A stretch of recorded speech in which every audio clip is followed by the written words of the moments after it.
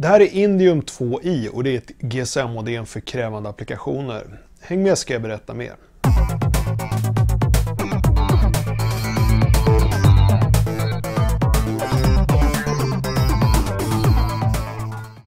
Indium 2i är ett GSM-modem för industriella applikationer inrymt i en metallkapsling.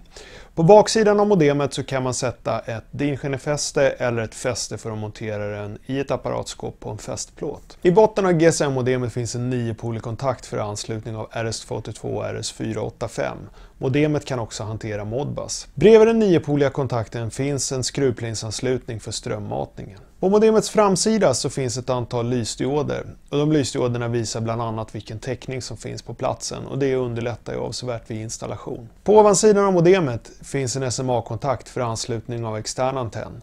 Vi levererar modemet med en patchantenn för vi vet att de flesta modem sitter inmonterade i apparatskåp och då tycker vi att patchantennen är ett bra sätt att få ut signalen ur skåpet. Indium 2i har ett par fina egenskaper som bland annat en funktion som heter SMS Direct.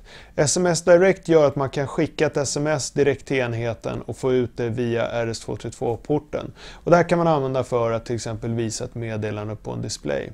Man kan även nå, gå den omvända vägen och få ett larm som skickas via RS232 i klartext som ett sms.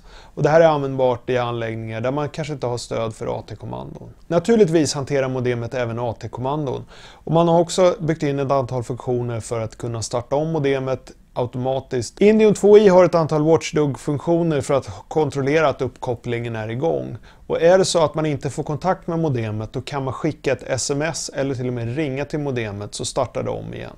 Indium 2i är ett industriellt modem anpassat för kontinuerlig kommunikation. Modemet konfigureras med ett medföljande konfigurationsprogram. Indium 2i är ett robust och attraktivt prissatt modem för maskin-till-maskin kommunikation. Mer information om Indium hittar du på vår hemsida och du är naturligtvis välkommen att slå oss en signal eller skicka ett mejl om du undrar mer om modem.